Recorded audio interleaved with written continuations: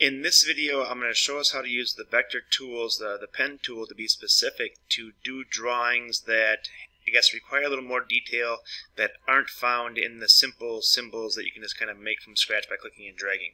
So the one that I'm going to do um, is the boxer dog for you guys. Uh, at the same time, I have already done the circular saw and I did the antlers um, on my vector image. So going into Vectr, I already have it opened up um, and I already have the image downloaded. Remember to upload images that you have downloaded from the internet um, and I just looked for a boxer silhouette. That's how I got this black and white.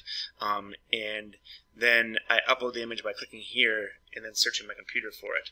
Um, now in here uh, if I'm not in my document it kind of goes off and being gray but you can still design over here. You can still doodle over here. So I'm going to make mine all over here. And if you notice, it's pretty big compared to my 8.5 by 11 sheet of paper. It's about the same size. But I'm going to leave it larger when I'm actually doing my drawing and my tracing.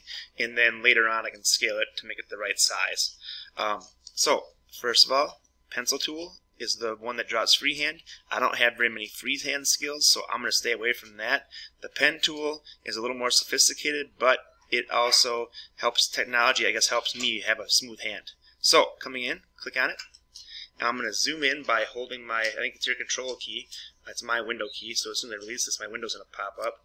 Hit it again. Um, and I'm going to click on one of these places to start. I have some crowd going on in the background. My toddlers are talking. Um, but I'm going to click, and if I click again, it's going to actually make a, uh, I guess, a straight line shape, but I want to click and drag. And when I click and drag, it's going to throw a little bend into it, and I want to bend it just enough that it's going and following the path that it was doing right there. And then the next one will kind of happen naturally. Um, so I'm not clicking and dragging, I'm just going to click. And it might be a little bit off, but I can always adjust these later. All right? Now I kind of want a straight line, so I'm going to leave it kind of going straight up to here. And then I'm going to click and drag just a little bit to the left to kind of blend that in. And then I'm going to kind of go the opposite way. And it's kind of happening naturally now. Click, click and drag to follow that bend. And you can always adjust these later on, so don't try to be perfect. Alright? Click and drag. So this one kind of happens naturally to this point. And then clicking and dragging. Oh, I double click by accident.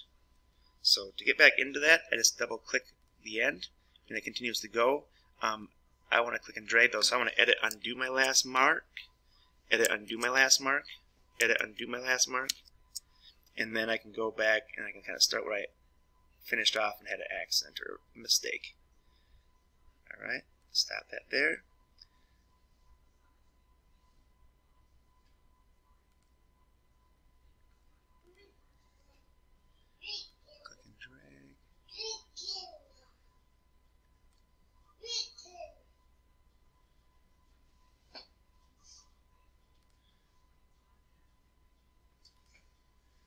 And sometimes I'm just going to click and click and move these things later on if they're not matching up perfectly.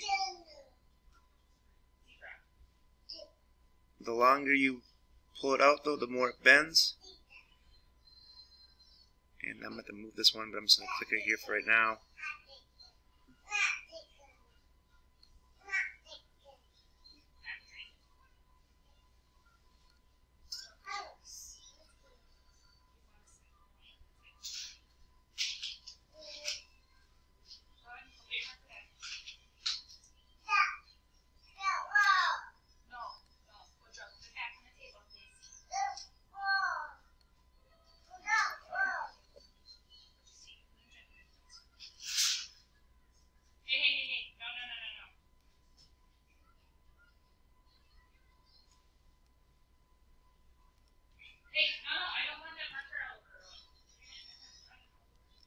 Alright, so as we go around the dog, we may have some things we have to fix later on, but just kind of click and move and learn how to use the tool.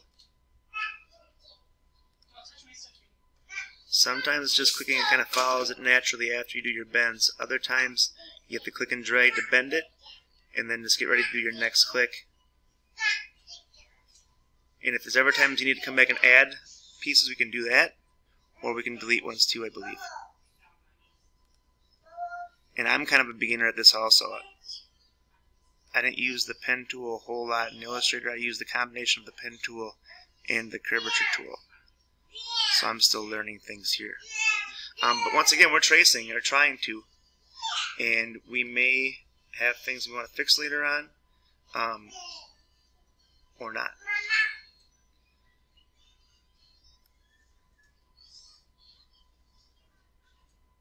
Clicking and dragging allows that bend to happen. The next bend wants to come off there. If I hold the control key or if I double click this point, it will make a straight point off there instead. Clicking and dragging once again will make that bend to happen. Kind of naturally.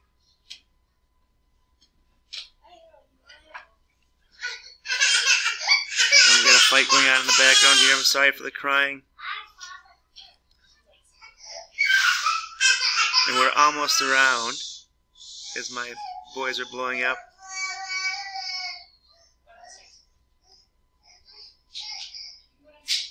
Remember also, the silhouette that you are using is just a piece to help you out or get you planned out.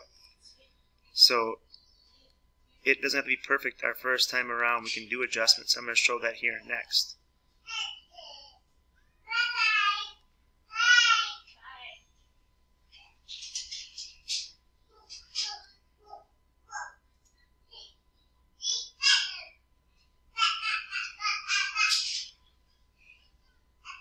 I'm just going to close the shape off. So now I have my drawing. You notice there's certain parts that aren't perfect. Alright, coming in here, I'm just going to move those down by double clicking. And then I'm going to go into my window a little bit just to see what I have going on here. Scroll in. And then I should be able to move points. Double clicking makes it a straight line point versus a rounded point. So just me double clicking that, I can move this around a little bit. Alright, make these things go a little bit more where I wanted them to go add certain things. If there's points that you wanted to be there, you can add it by clicking on it, moving them. You wanted it rounded, double click it. Alright, so that kind of smooths things out afterwards. Okay, the important part here, guys and gals, is you're going to have to try to practice this. Uh, it takes practice. Um, remember, edit undo if we do things that we didn't want to happen. I'm just going to kind of move this around. And I suggest trying to move existing points versus adding points. Um, remember, you can also, I think, select them and delete points if you have the one selected by hitting the delete key. All right, got to undo because I wanted that one there. I just want to round it instead. Move it back. Now, I hope this helps. It's an eight-minute video. Um, at the same time, if you need to help or need help, make sure you stop into the meet. Um, but this is drawing. This is tracing. If you wanted to add details, you could add uh, white shapes on top of this and it will start showing your eyes or anything else you wanted to show in the description. Thank you for watching.